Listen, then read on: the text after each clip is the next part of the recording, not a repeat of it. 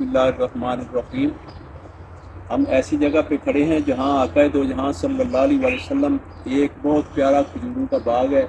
इस खजूरों के बाग में आका अलैहि वसल्लम तशरीफ़ फरमा हुए और नमाज़ का टाइम था। नमाज़ पढ़ने का इरादा किया तो यहाँ पानी नहीं था। सहाबाई कराम से पूछा कि पानी नज़दीक तरीन तो ये एक कुआँ है साथ आज भी पंद्रह से बीस फुट दूर है और अगर इसको लिया जाए तो छः सात मीटर दूर है। छः सात है पानी, यानी कि ऊपर आ चुका है पानी। ये मौजूदा आज तक कायम है। अकल अकलम ने एक ऊँट अपने प्याले से पानी लिया और उसमें अपने लुआके दहन शामिल करके वापस इस कुएँ में डाला। कुएँ का पानी मीठा भी हो गया, आज भी मीठा है और कुएँ के पानी ऊपर भी आ गया। और इधर मस्जिद में नमाज़ पढ़ी, इसका नाम मस्जिद नूर है। इधर नमाज़ अदा की और सहाबा कराम को वाज नसीहत फरमाते रहे, तबलीग का नबूत का काम करते रहे। जब आका अलैहि वसल्लम बयान फरमाते फरमाते सहाबा कराम के साथ गुले मिले हुए थे और लेट हो गए।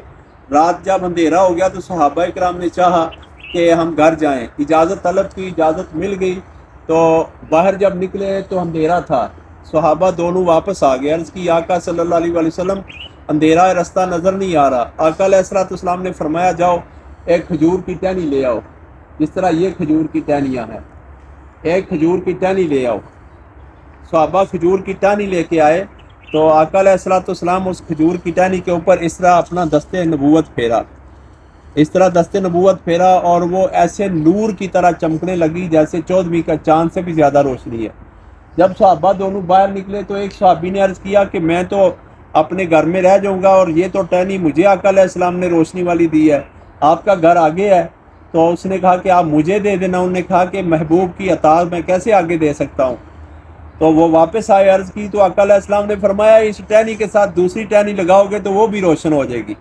और इस जगह के ऊपर जब नमाज़ अदा की और उस रोशनी की वजह से इस मस्जिद का आज नाम नूर मस्जिद है जिसमें हम हाजिर हैं और इसमें दुआ करते हैं या अल्लाह पाक हमारे मुल्क पाकिस्तान की खैर फरमा हमारे मुल्क पाकिस्तान की आवाम को हदायत अता फरमा कि जिनको साल हा साल हम आजमा चुके हैं, उनसे बचने की और जो नए लबई का यार रसूलुल्लाह सल्लल्लाहु अलैहि उन, उनकी खिदमत करने की, उनको वोट देने की, उस जमात की हमायत की तोफ़ी अता फरमा। सल्लल्लाहु ताला अला मोहम्मद वाला अजमाइन